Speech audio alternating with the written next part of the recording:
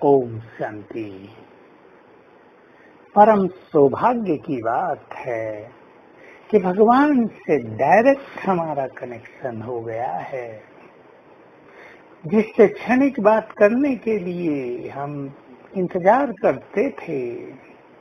कब अपॉइंटमेंट मिले, कब समय मिले, वो आया धरा पर, उसने हमें स्वीकार किया।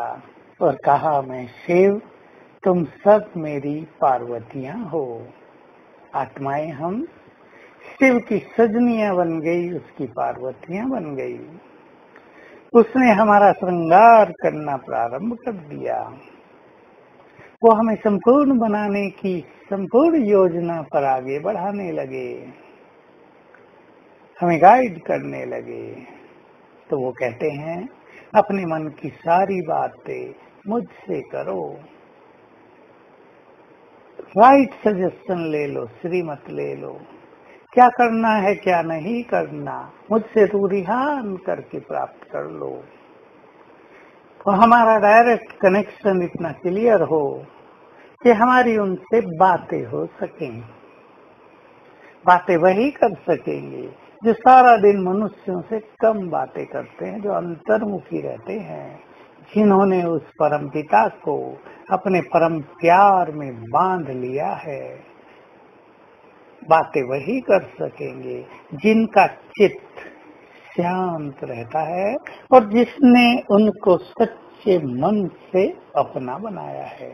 तो आइए हम अपने परम पिता से, परम प्रियतम से रोज बातें करने की आदत डालें। हर हर दिन में कई बार उसे बात किया करें उसे कनेक्शन जोड़ा करें। जैसे संसार में जो कोई व्यक्ति हमारा बहुत प्रिय होता है, हम उसे बार बार फ़ोन करके उससे बातें करते हैं।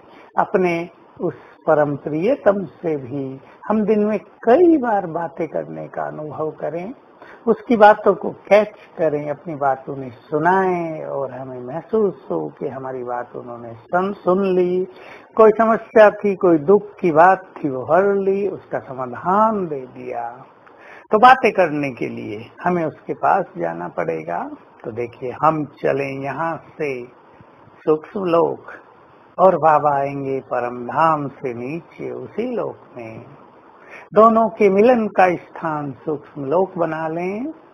हमारे पास बहुत सुंदर ड्रेस है, जो स्वयं बाबा ने दी है। चमकीली ड्रेस फरिश्ते की ड्रेस बहुत डिवाइन ड्रेस बिल्कुल लाइट प्रकाश की काया, उसको पहनकर हम सूक्ष्म लोक में पहुँचे और सामने देखें कि बाप दादा हमारे सामने हैं। दृष्टि लें रूरिहान करें रोज आदत डालें, उससे बातें करने की। तो ये सब कुछ क्लियर होता जाएगा।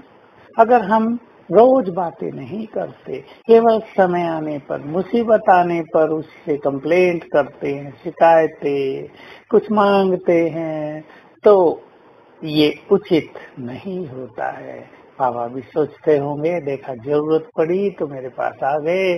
वैसे कभी मुझसे बात ही नहीं करते और बाप को कैसा लगता होगा जब हम उनसे मांगते हैं? उसको भी लग जा जाती है कि ये दाता के बच्चे, ये विश्व के मालिक के बच्चे, जो स्वयं भी विश्व के मालिक बनने जा रहे हैं, ये क्या मांग रहे हैं? हम अपने स्वमान को जागृत करें और इस सूक्ष्म फरिश्ते की ड्रेस को पहनकर रोज बाबा के पास चला करें। कितना सुंदर समय है, कितनी सुंदर अपॉइंटमेंट दी है बाबा ने। रोज सवेरे शाम को, वैसे तो हर समय ड्रेस भी दे दी अपॉइंटमेंट भी दे दी। तो हम अपने भाग्य के गुणगान करें।